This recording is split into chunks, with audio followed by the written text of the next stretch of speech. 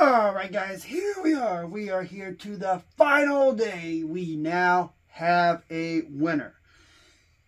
Video game March Madness Season 4 is in the books. Before we get into this, I want to tell you guys how much I appreciated the turnout this year. You guys made this year epic. I didn't have to put as many games in. You, the community, got it in the live stream. You guys put the games in the chat. Man, I appreciate it. I appreciate all the likes, the comments, the shares, the subscribes. Come on, hit those bell notifications.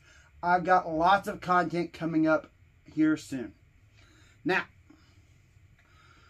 also, before we get into this, I'm going to be taking a day or two off editing, relaxing for a day because I have been at this hard for the last month.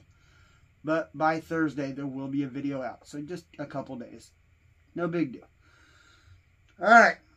Let's get into this and let you guys find out who was the winner. We had two big juggernauts in this final match. We had Resident Evil 2 going up against Donkey Kong Country 2.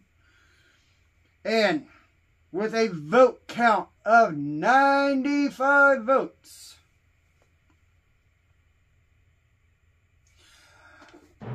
Resident Evil 2 is your Season 4 champion. That's right.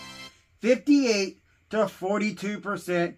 Resident Evil 2 will knock out Donkey Kong Country 2 to end this year's tournament.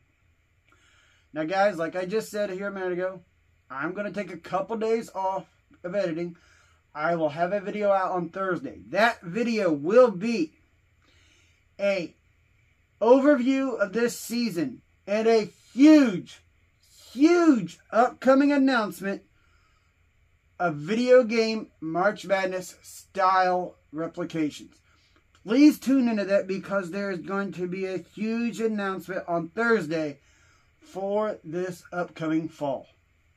I hope everybody tunes in. I hope everybody checks it out. And hey, been Retro Mikey 78. We will be back with lots of content here in the next few days. See you later.